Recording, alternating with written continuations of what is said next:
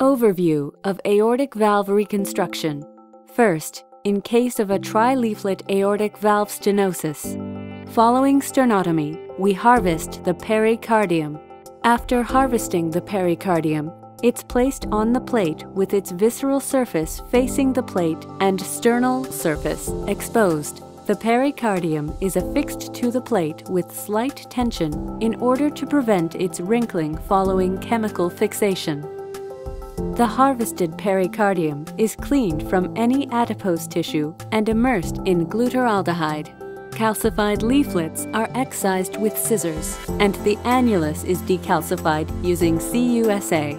After removing the diseased leaflets, we measure the distance between each two adjacent commissures and mark the center of each segment of the annulus with a pen.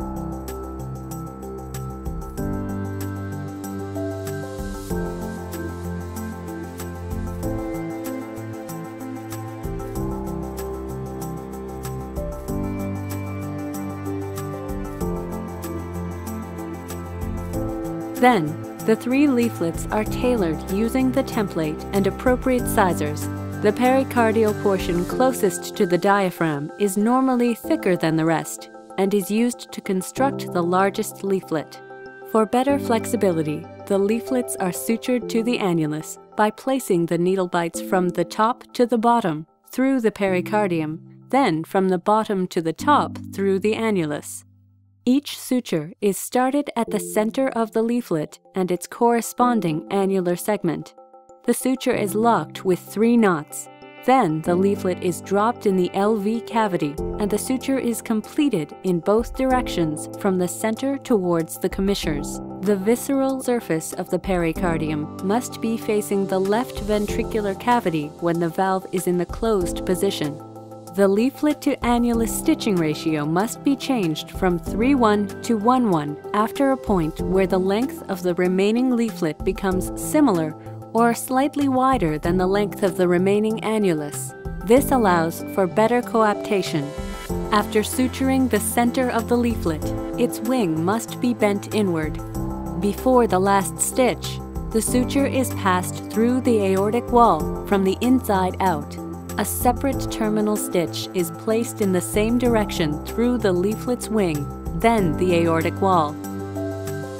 The four terminal sutures for each two adjacent leaflets are reinforced with a pledget on the outside of the aortic wall. The valve cusps are sutured in the order of this figure.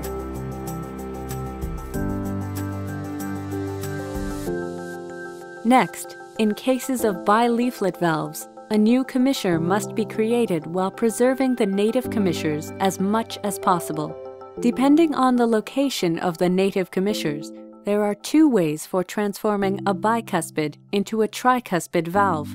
The first method is used when the left and right coronary ostia are perpendicular to the valve's opening, coaptation line. In this case, we preserve the commissure between RCC and LCC and create two new commissures while paying close attention to the location of the coronary ostia. The second method is used when the two coronary ostia are horizontal with the valve's opening, coaptation line. In this case, there are three patterns for reconstruction.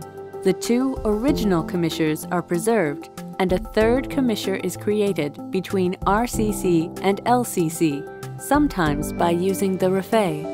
After identifying the commissure or raphe to preserve, the new commissures are marked at equal distances from the preserved commissure while paying attention to coronary ostia and balancing the sizes of the cusps. The size of the third cusp is determined automatically. Midpoints between the annulus and the commissures are marked. Finally, in cases of bicuspid valve or aortic insufficiency, the annulus must be reinforced with Teflon felt strips. The strips are placed externally at the level of the annulus. First, three felt strips are tailored. One measures 5 millimeters by 150 millimeters, and two measure 5 millimeters by 75 millimeters each.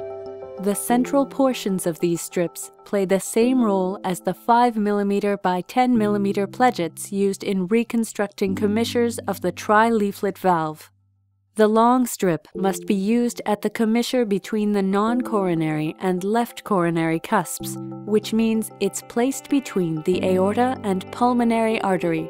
While creating a new commissure, it should be reinforced with the pericardial pledget from the inside and felt strip from the outside. The smooth visceral aspect of the pericardial pledget must face the lumen, the felt strip is trimmed 3 mm by 4 mm and must be attached to and covered with already sutured 5 mm by 10 mm pledget. This long strip is used along the pulmonary side of the aortic root. The reinforcement of the annulus must be performed after unclamping the aorta to allow normal filling of the aortic root. It's done in this order LCC, NCC, then RCC.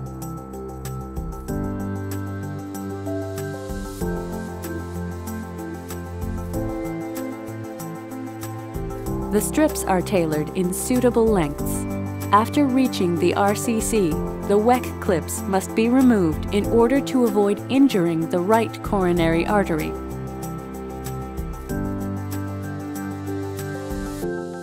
In some cases, the left coronary ostium is located higher than the commissures, and the felt strips could hinder the left coronary artery ostium.